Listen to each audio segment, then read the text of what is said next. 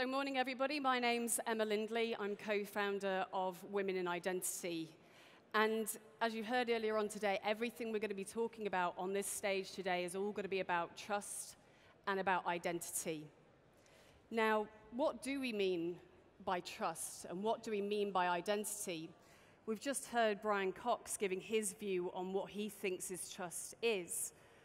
But those are two very, very subjective and very contextual words trust and identity.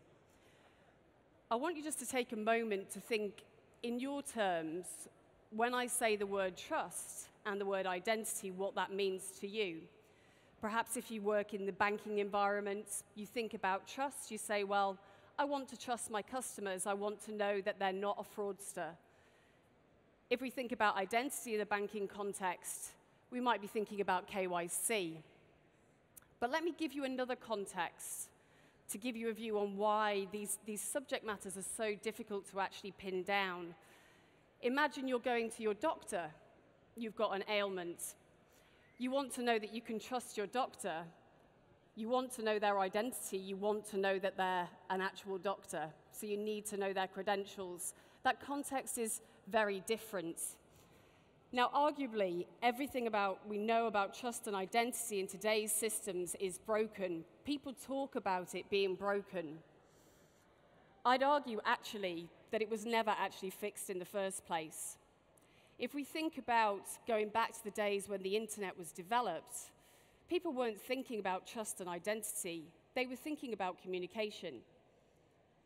And if we roll forward a number of years to where we are today in open banking, people were thinking about how do we make data open, not about trust and identity.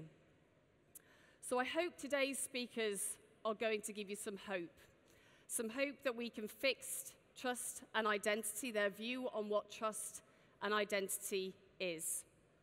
So without further ado, I'm going to introduce you to our first speaker, who is going to be talking all about the future of identity and what that holds. Don Thibeau is the chairman of the Open Identity Exchange and the Open ID Foundation. They're both not for profit organizations involved in developing standards in this world of trust and identity. Don, give me a round of applause.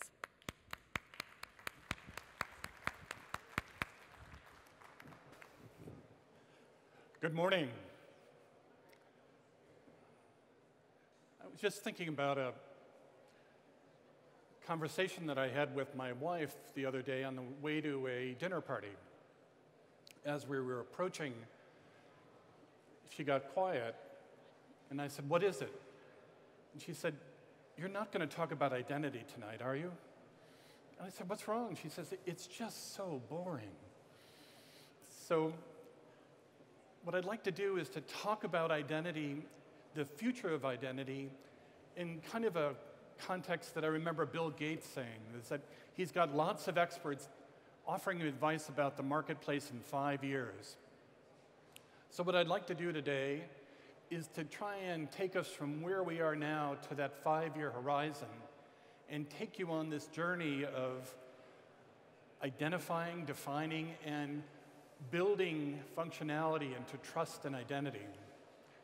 And trust and identity are wicked problems the 10,000 people that are here today, each would have their own definition of trust, and each would have a valid way of expressing identity. That cultural context, the community bias, is very difficult for us to get work done. Just when you think you have a definition of identity, it's like a wet bar of soap, it pops out. One of the things that is true of identity and access management solutions in this space is that once they're solved, they become more brittle over time. That's certainly the case with knowledge based authentication or SMS messaging that were the part of this then of identity and security. Those tools and techniques are no longer as secure as they once were. And certainly, passwords are, for many breaches and many threats, the threat vector of choice. Passwords are the cockroaches of the identity ecosystem.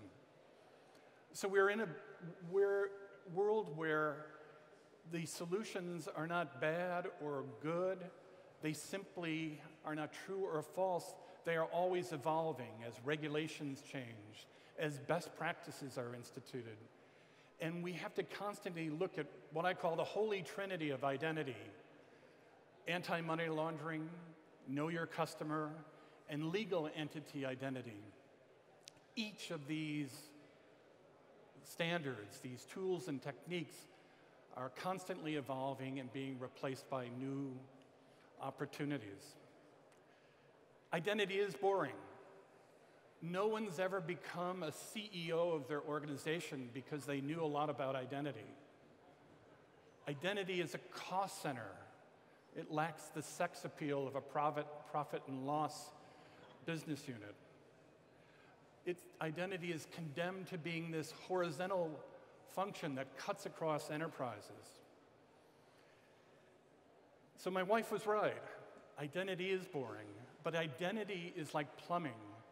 Done right, it's indispensable. Done right, it's invisible. Now we know what happens when we get identity wrong, when we get trust wrong. The kinds of breaches and identity theft really bring hell to pay. Identity systems, once broken, are expensive to fix, and like plumbers, they're hard to find. So, my modest goal today, just this few minutes that we have together, is to see if we might be able to come to a common view of what identity is and how trust can be made functional, can be actionable within our enterprises. So, real quickly, I'd like to talk about how we might instrument or architect trust and identity. How we know when a partner, an employee, a network is safe, is trustworthy. How we know the identity of people that we've never met and never contracted with. How we can protect the privacy and security of the user and still deliver a compelling user experience. So, the context for our conversation is this notion that we have to operate in a zero trust environment. Best practice is you trust no one, not your employees, not your partners, not your suppliers, not your networks. How can we operate in a never trust but always verify context? It forces us to rethink who and how and when we trust. It's a game changer. But as we sit here today, billions of dollars are being transacted by the worst, most untrustworthy actors that we have. Billions of dollars flow through the dark web, the pornographers, the arms dealers, the drug dealers, are somehow able to transact with each other in a global ecosystem. How is that possible?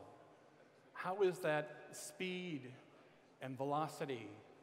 How is that volume and variety of goods being transacted in the most quintessentially untrustworthy environment?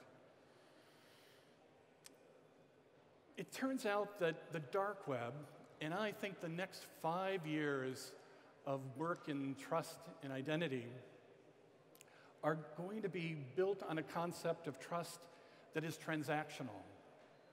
That we are trusting of someone or something or some group when we can reliably and repeatedly transact with them. That's our operational definition of, of trust. What we want to be able to do is to find the technical tools and legal rules that constitute the basis of trust. It turns out that we've had trust mechanisms for a long time, both in the credit card networks and in simple listings of identity data. The simple transference, even in an analog context, like a phone book, allows us to find a trustworthy transaction. We can find information about suppliers, who they are, where they are, and how to contact them on a reliable and repeatable basis long before the internet was um, created. This notion of transparency is at the root of what trust and trusted transactions are. Of course, in the internet age, we now have automated discovery. That phone book now is expressed in terms of the networks that power the internet, the SWIFT networks, et cetera. This discovery of who we're doing business with, how we're doing business, like the DNS network, is exponentially valuable. It leverages identity data in a way that we've never seen before. It's created trillions of dollars of value. If you think about these high volume, high variety, high velocity trading networks, I think the future of identity will look something like this, where we have the New York Stock Exchange, the Hang Seng, the FTSE, each creating a collaborative environment where competitors can compete on a level playing field. They're made possible by a series of technical standards and the requirements of the players to be in conformance with those standards, and a series of legal rules or governance that requires them to comply with both the rules of the exchange as well as that of the regulator. The great achievement that we have in financial services is that not only each of these networks work at scale, but they're now knit together on a global network of networks. I think we're going to see attribute exchanges and identity data begin to follow the same path. Registries aren't new, but registries build trust through transparency. Registries of events, of actors in action, and in so identifying those events and actors and actions, we can begin to look at liability in this context, where in identity management systems, each of the actors can take liability on for that set of duties that are represented in bilateral agreements, service level agreements, and this new beast called schemes or trust frameworks. Registries, as you know, are at the heart of the new architectures here in Europe, where GDPR, PSD2, and open banking require national registries to provide the transparency so that this automated discovery and this trust can be derived. These national registries and EIDAS are then integrated for a pan European marketplace, then integrated once again in the next three to five years in a more global system. So, the great disruption and the great opportunity of open banking, the forcing function of GDPR and PSD2, is that we're beginning to find trust mechanisms that scale, trust mechanisms that drive transactions at a high volume, velocity, and variety. And we have to create these systems that are interoperable with a wide set of devices. We know that whatever we do in open banking, however the regulations of PSD2 settle out, the platform of choice is that mobile device. So it requires us to stitch together a series of technical standards, working with regulators to understand the legal guidance so that we can create governance for these exchanges, for these registries, for these directories. It's when we have the interoperability both across systems and along different devices, networks, and display devices that we'll be able to find the solutions to trust and identity. That's our goal. We know that we've got it right if we're able to measure trust and to understand identity in terms of the volume, velocity, and variety of these transactions. So, these technology tools, these legal rules, that's the one piece that I'd like you to take away from this conversation is that this is a sophisticated audience. We can't leave trust, we can't leave identity to the coders and developers, nor can we leave them exclusively to the, to the province of lawyers and regulators. It is the Venn of identity that is going to take us from where we are into the future. This spans across business sectors, both public and private. We have in the airline industry, one of their highest priorities is their One Identity initiative. That One Identity initiative is born not from increased airline passenger travel, but simply the notion of how do we protect that customer journey from a security point of view? How do we deliver a seamless experience in the airport so that we can accommodate the security, the privacy of travel, travel data, and that experience? So, what I'd like you to visualize, if you would, this Venn of what I call open banking and open identity. What is common to both those ecosystems, those marketplace and those industry leaders, are these sets of problems. The regulatory barriers are increasingly under pressure. We have a situation where regulation may fix a problem at a time for one jurisdiction, but has this effect, this Doppler effect throughout the world's global ecosystem. We have no clarity on cost of identity systems because we've never thought of them as a unit, as a function unto itself. Standards trump regulations. I use that middle word deliberately.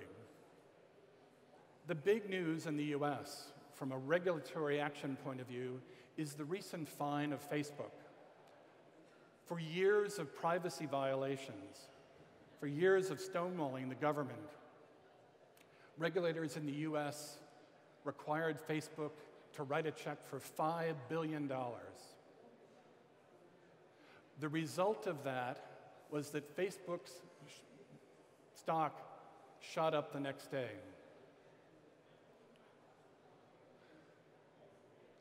It wasn't that the agreement was flawed, although it did give retrospective immunity to Facebook for all their previous sins, but it simply missed one thing a zero. If it were 50 billion, even the CEO of Facebook would have felt it. If it were 50 billion, the shareholders and stakeholders in Facebook would have taken notice.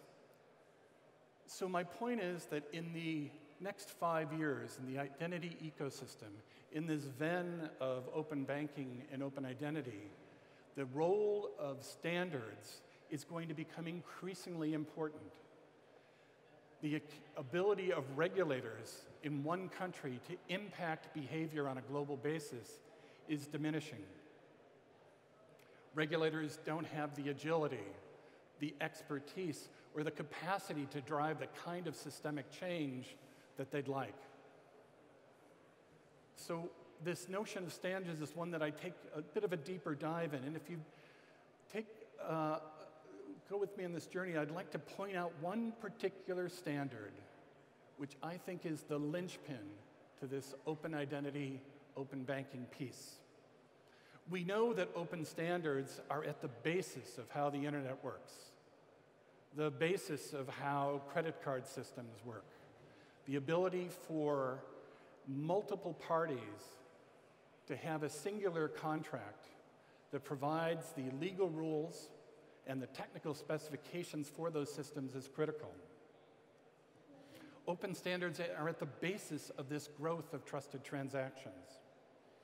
It's at the basis of the user experience, to say nothing of how systems scale and interoperate. Open standards like OpenID Connect, which most of you are using, if you're a Microsoft user, a Google user, dozens of platforms, OpenID Connect has taken the place of the SAML standard. It's offering a new set of opportunities for higher value transactions that we'll talk about in a minute. It's the result of a team of rivals making a simple conclusion that there are some things that even the most powerful companies cannot do by themselves. So, that one standard, that piece in the Venn of open identity and open banking, is a brand new standard called the Financial API. It's being developed in the OpenID Foundation, a nonprofit, technology agnostic, global organization that offers up this standard at no cost and no license fee. What's significant about this financial API is that it is built on top of OpenID Connect, and it is being developed in conjunction with what's called the MODRNA standard, a mobile identity standard led in part by the GSMA and other actors, so that we begin to align these standards being developed for identity, for mobility, and for financial services. An interesting thing happened at the Financial API Working Group. As they were beginning to launch its first set of standards, the name changed. The name changed from the Financial API to the Financial Grade API. What was that all about? It was the realization of the leaders in that working group Microsoft, Nomura, Intuit, other fintechs, other banks, that if this financial API, this open standard, actually got adopted and actually was trustworthy, it would create a dynamic that basically went like this. If that authentication standard is good enough for banks, it'll be good enough in healthcare, it'll be good enough in airlines, it'll be good enough in the gaming industry.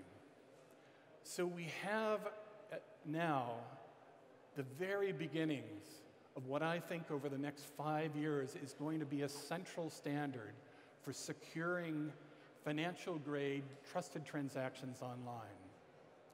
We have now hundreds of companies that have certified their conformance to that standard. Again, boring stuff this is, but it really is the catalyst for change in our ecosystem. Now, I'm a standards guy. I don't want to oversell it. We all know that standards are only as good as their adoption. And their adoption is a, is a function of how trustworthy they are. Well, how do we know they're trustworthy? Show me the proof. We have for a long time looked at certification from an auditing perspective, a consulting perspective, but that doesn't scale. To be sure, there's an important role for that third party audit, those certification regimes and the organizations that provide that surety and trustworthiness. But it doesn't scale. We need to have a new way of self certifying technical conformance to this new standard and demonstrating legal compliance to both regulations and the governance systems within different networks. So, what we've done is that we've innovated this notion of self certification. Here's how it works any organization at any time, at no cost, can look up the requirements for self certification to the financial grade API standard. Two things happen when they're ready to apply for that certification, they show their work.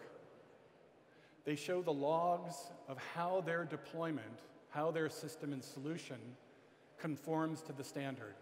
They make it publicly available at no cost for the world to see. With that, three things are triggered. You can be sure that when Google self certified its conformance to OpenID Connect. Facebook and Apple and Microsoft went through that code with a fine tooth comb. You can be sure that we have this na global neighborhood watch where developers around the world were able to see exactly how that implementation of that deployment or product or solution conform technically to the standard. So we have peer review, we have this worldwide crowdsourcing of examination of technical compatibility, and we have it trusted because we have it available for anyone to see at any time. But that's not enough. The technical conformance piece is not sufficient for trust. What we need to do is ask those organizations that when they publish those results, they need to put the most important asset they own on the line, which is their brand. So in addition to the technical results, a officer of that organization makes a legal statement saying that those results are in fact representative of my product, my solution, my deployment at this time. In the states, that invites class action suits. But it, here it gives us the instrumentation of trust for these identity systems, the tools and the rules, the conformance from a technical point of view and the compliance from a legal and regulatory point of view. We have something that scales on a global basis. We have something that allows new fintech players, challenger banks, existing banks to be able to invest in these new standards, these open banking, these open identity standards, and create trust and trusted transaction on a global basis. So these two components, I think, allow us to drive trust in new ways, allow us to scale identity systems on a global basis, and provide the trust layer necessary for both conformance to identity standards and the financial grade APIs that now are at the heart of open banking uh, standards. And by that I mean that this financial grade API standard has been adopted by the open banking implementation entity here in the UK.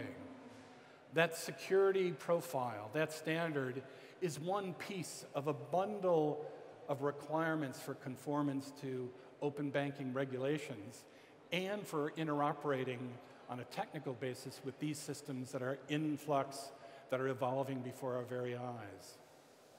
I'm pleased to say that the Financial Data Exchange, a new organization in the US created by FS-ISAC for the sole purpose of sorting out identity. So we have among the nine major banks in the UK the creation of a special purpose entity that looks at standards, that looks at, at the security profile for open banking, and has this connection to identity systems. The UK has adopted that the Financial Data Exchange, a special purpose identity organization in the US, has said the same thing. We expect, and we're trying hard, to reconcile those differences between how the financial API standard operates in a PSD2 environment and how those standards can be adopted on a global basis.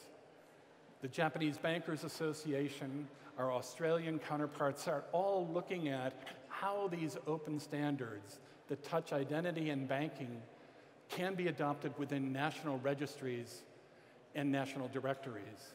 If we get it right, we'll create this global interoperability for that piece.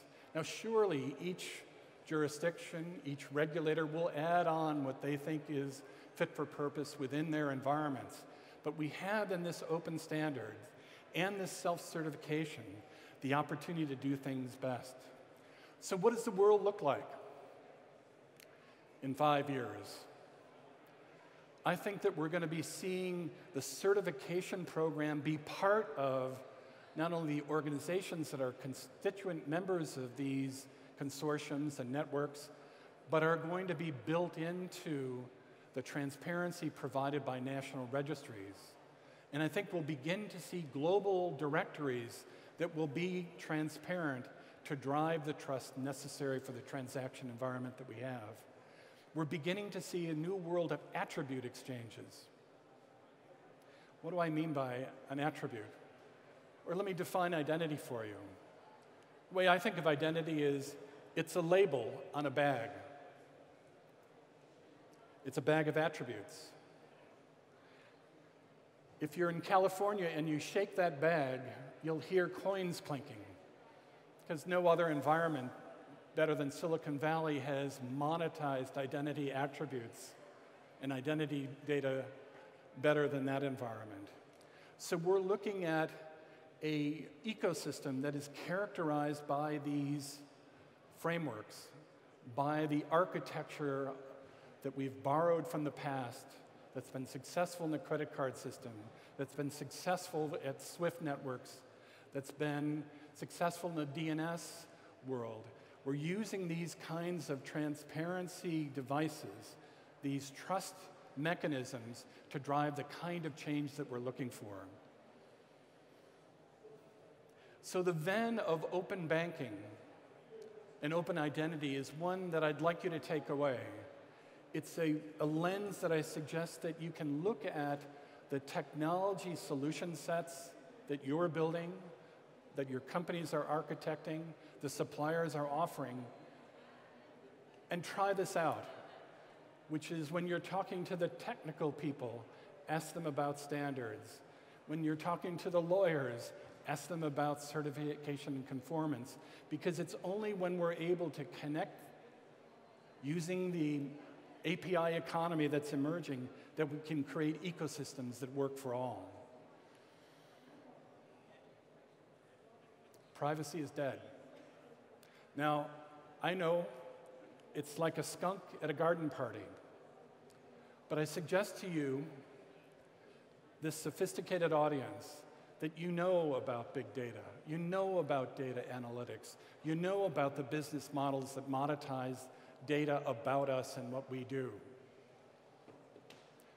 If you know that, you know that there's very little opportunity to protect or keep private data that we create, data that we might own about us.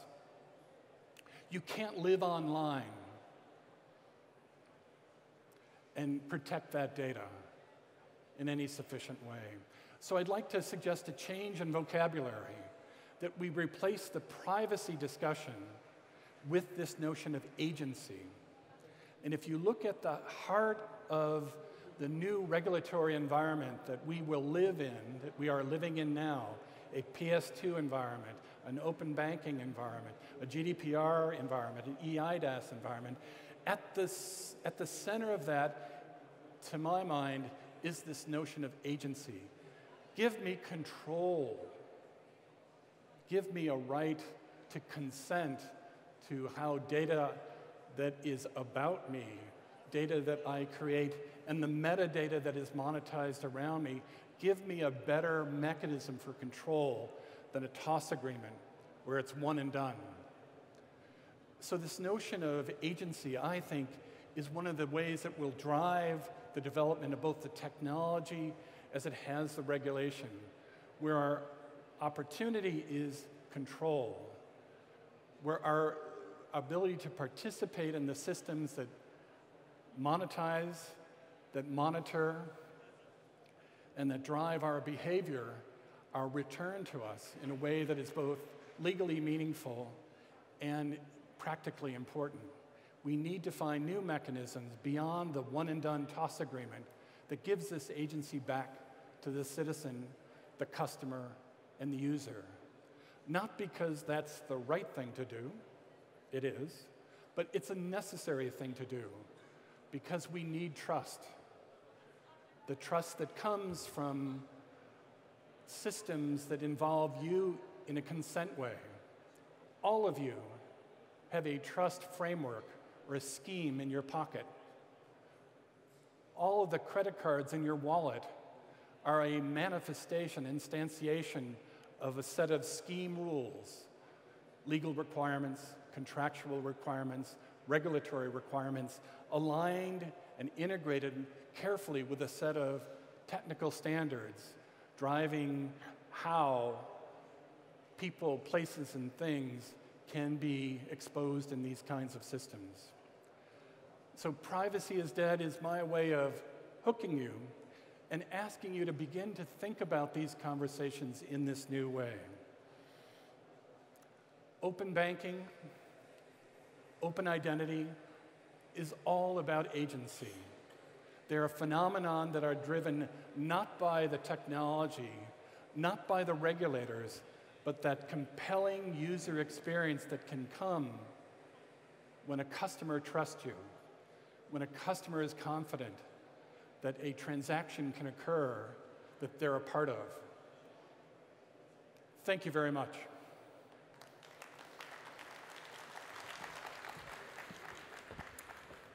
Thanks, Don. Take a seat. Um, I am not going to let you leave the stage uh, because you've just said the immortal words, privacy is, uh, is dead.